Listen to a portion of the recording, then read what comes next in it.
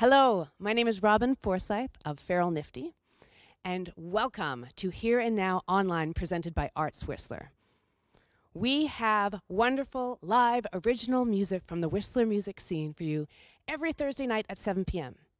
And tonight we have Bob and Charlie.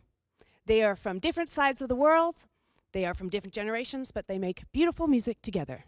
Please welcome Bob and Charlie. Thank you, Robin.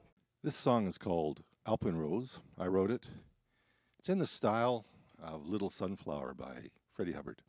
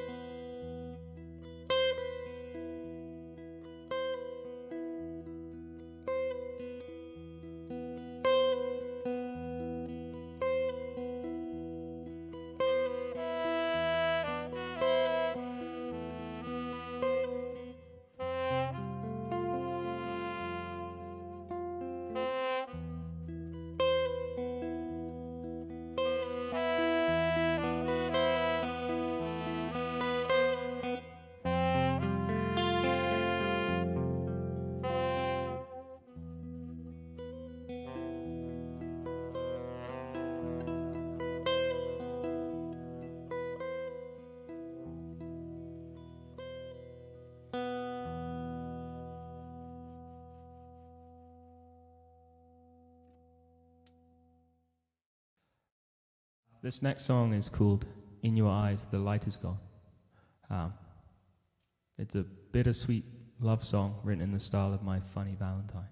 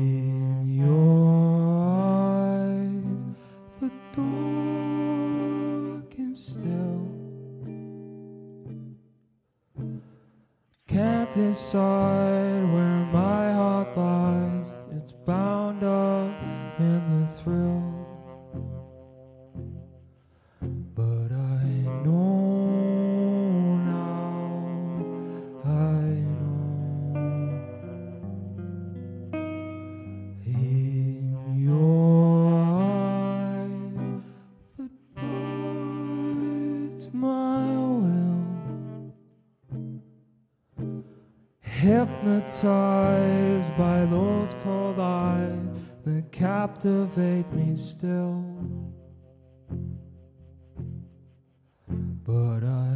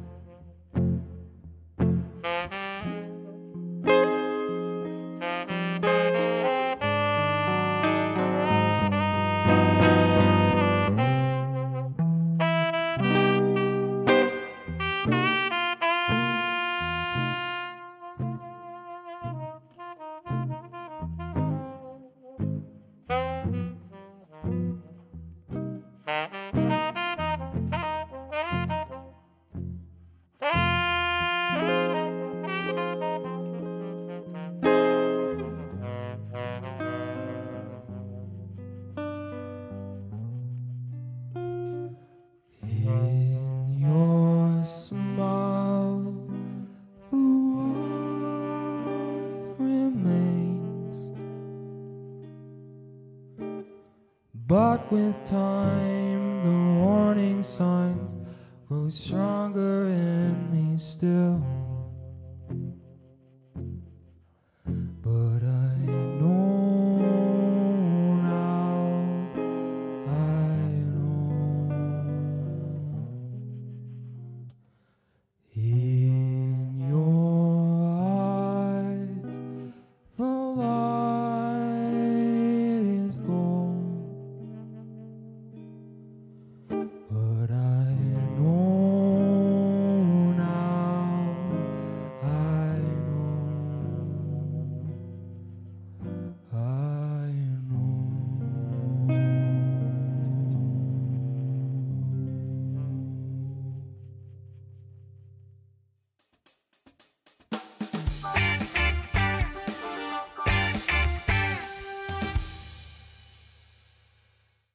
Gentlemen, that was a great show. It was very creative and inspired. Thank you, Robin. You're most welcome. um, I wanted to ask you about the stories behind some of those songs. Can you give me a little insight on the uh, on into the first song, Aspen Alpenrose. Alpenrose? First song Alpenrose. is Alpenrose. Uh, I come from a jazz background, and I wanted to write a song that uh, reflected some of the vast repertoire that's out there. And there's a song that Charlie and I have played a few times called Little Sunflower by Freddie Hubbard. And it's got this real sort of a minor, kind of a sad vibe, but then it jumps into a major key, which is happy. So it goes back and forth between sad and happy. And uh, that was my inspiration for writing Alpenrose. Fantastic. Now you helped on the other song. You were you co-wrote Earth. Kept Earth is what Earth is watching you. That w- yeah. So that that was Bob's brainchild from the start, and then we sort of adapted it together. Um, it was our only our first attempts at kind of that collaborative process in writing original music, which was sweet uh, it was just an interesting process to see what um, Do what you- we came up with. Do you both take separate uh, jobs within the writing process, or do you actually collaborate on lyrics and every and like on all aspects of it? the the um the me- so he had come up with the melody and um I to to make it my own I just uh I came heard up with you. some really, I don't know, not great lyrics, not poetic, not terribly poetic. I think Oh, Charlie is definitely the poet, and so I didn't know he he uh, worked on the lyrics and brought some poetry into them. and I think it improved it vastly. Excellent. How did you guys meet? um w- well when I first arrived in Whistler maybe about a year ago um I was taking myself to Black's pub there's a jam night there run by Costa Man um he features in this and uh Yeah. one w- yeah w- Wednesday one night nights. rolled along and uh actually I think we can owe it to Costa to to have um he he has a great skill of uniting musicians and like Definitely. birthing collaborations. Yeah. and he kind of makes it he said said to you that he thinks it's his life work in a, in a sense. Um and yeah so he uh he said you guys you guys would work together i think. And i found myself on stage. I was uh, uh, um new to jazz music but i had a couple of things up my sleeve. And bob was just all over it. So he he he jumped in there on the saxophone and which was a lot of fun because uh, it's really great to meet a, a jazz player, especially somebody you know as young as Charlie that's already got his chops down really, I think, pretty solidly on the guitar. So it was a lot of fun to really start collaborating and start playing. I think you need to share that little part about you running after him with the business card. uh, well, he's a businessman. That's where the experience is. In my former life, that's right, yeah. as a bu- uh, business guy. So you know, I printed up some little cards with uh, what pink elephants on them. I think so. It's a green card. with a green card with a pink elephant. That's right. So green card. Beach Westie, which is still your That's my one handle. of your emails. That's right. if yeah. not the nerdy one. And uh, yeah, as he was leaving, I gave him my card and I said, "Let's see if we can do some more playing." I was too embarrassed to to to say that I enjoyed it. It- yeah. but clearly you did, and now you Oh, guys are we here, so- Yeah. and you guys have more plans. We do. We're working on an album. Yeah, this this this whole thing has been the catalyst to us thinking actually this it would be great if we you know um, just put uh, put all of our work into into writing some original music and uh, yeah so that hope hopefully in the near not so distant future that will come to a head Awesome. I asked you another question, and then I'm going to bring out the wheel. But when We're I ready. I asked you it, um, in an email uh, what you feared, and I really thought it was interesting what you both said because it was different, and I can't think it came from a place of where you are in life. Your answer, do you remember your answer? I'm concerned about yeah, what uh, how younger people are going to deal with the arts and music. I'm involved with that, especially with what's going on right now. Really concerned how music is collapsing everywhere, especially live music, of course, and it's a big concern. Yeah. Do you remember your answer? Um, Well, it's. I think. Well, I think we're just in. It goes without saying we're in very uncertain times. There's a lot of. ch- There's a lot of change, paradigm shift in just about everything in our world, and um, music has become all the more. Imp- I, I've definitely reconnected with it over the last month, but actually, without the support of I suppose. It's just like capitalist system, like framework breaking down to support musicians so that I can make a living. Because if I wanted to make a living out of out of music, then I got to get paid for it somehow and this stuff. Um, and I suppose just for all that pressure to discourage young artists from like budding would would would be awful. So um, Mhm. yeah. Well, then let's lift the questions up a little and add a spin wheel. All right, Let's do it. Okay. Who shall take the wheel first? I'll take a spin. Oh. Here we go. Ready, set, go.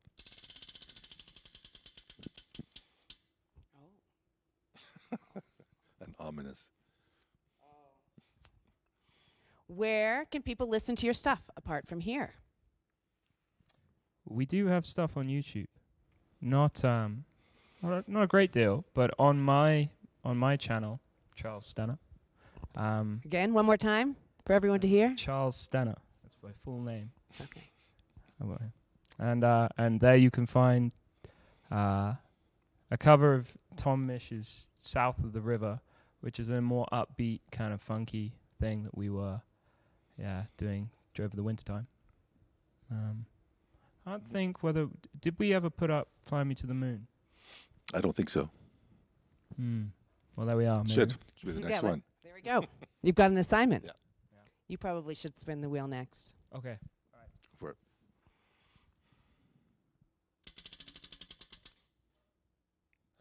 Twelve. I'm looking at it like Yeah, gonna what tell is me it? something. 12, it's 11. gonna tell me. What is your favorite decade for music? Bob, take me back. My favorite decade is right now because there's so much happening and there's a, the whole spectrum of music available. I think it's never been better. That's a really good answer. You could have you could have picked all of the prior decades to me being born, and you chose the one that I was going to choose. There you go. So, I but I'd have to agree because um, all of the genres are colliding and they're all kind of um, influencing each other in weird and wonderful ways. Yep. And uh, yeah, it's it's brilliant. I agree, but I hadn't thought of that Mm. as an answer. Okay. Yeah. so, so, thank you. All right, you ready? One more spin for you. Okay, I'm in. Trip up this time.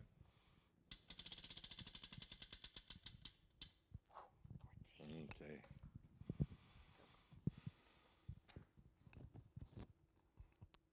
What is the most ridiculous song you've ever written, and how did it come about? I can answer this one. Oh, I have two, but one's inappropriate. my my first one was a complete and utter rip off. It was um I just picked up the guitar and I called it I think I called it I had a junkie friend.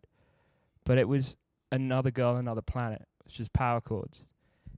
I always flirt with death. I guess Give us, give it, give it to us. Show us. um Full chorus. Come on. Ah, well, it just, I, I think I only had the the verse down to, to to the lyrics. I had a junkie friend, and I mind you, bearing in mind I'm like 14, t- and I probably didn't know what junkie friend meant. So I wasn't into hard drugs at this time. Not that I am now. um, yeah, I have an, another inappropriate one, but I'll let Bob take over to s- scoot me out of that. The most ridiculous song Ridiculous is the question. is yes. the question. Most ridiculous song. Well, I one of the first songs I tried to write was uh, was a bossa nova, and I came up with a wonderful title called Wanderlust, which is not really you know sort of a, a Spanish word at all. It's like German, a German word describing a a sense of trying to walk around. So it was. Uh, it, it already started off as a collision right off the get go. So I think it was one of them. I do have another one actually. When Oh. in my in my first house in Whistler in Creekside, the washing machine had like a really rhythmical like it had a figure that repeated, and I set up my field microphone and recorded it and have made a song out of the sound of my washing machine, which is pretty ridiculous, but But it worked. it's got groove. It's got yeah. groove. It was a groovy Samsung or like or Absolutely. Frigi- Oh, I've got I no idea, Yeah. but uh, yeah, yeah, Kenmore. it worked. The Kenmore always had a really distinct rhythm, didn't it? Because they're always on the verge of breaking down. That's yeah. right. That's right. Okay. Awesome. Thank you guys. It was you, great to have you here. Thank you, Robin. This song is called Earth is Watching You. It was co written between Charlie and myself. And you know, there's been a lot of love songs written between people, but not so many love songs written between the earth and humans. This is our attempt.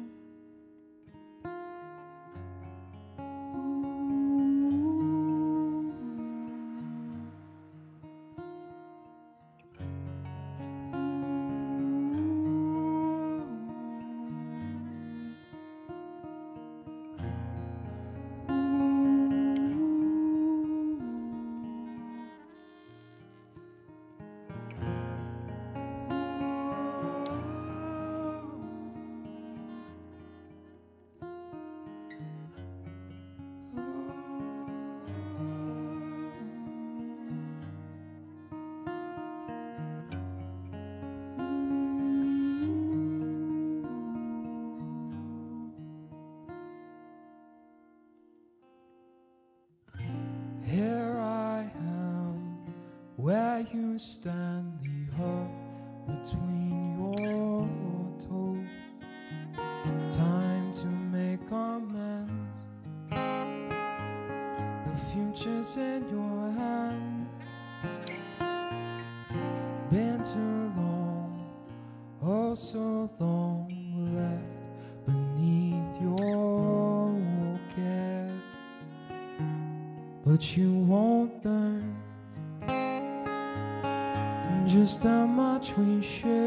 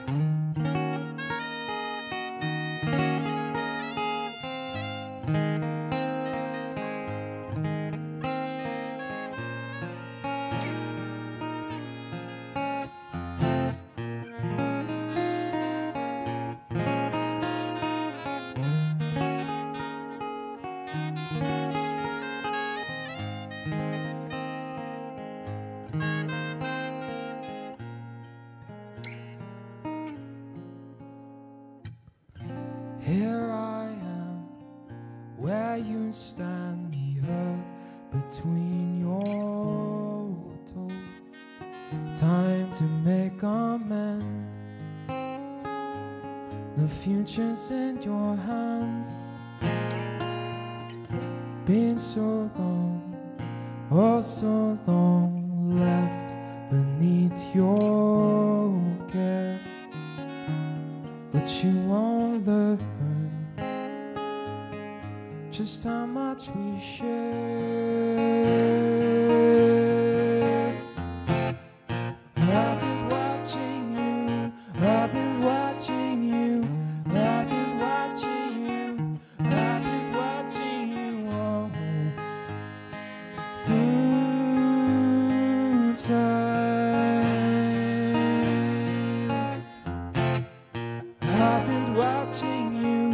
Earth is watching you. Earth is watching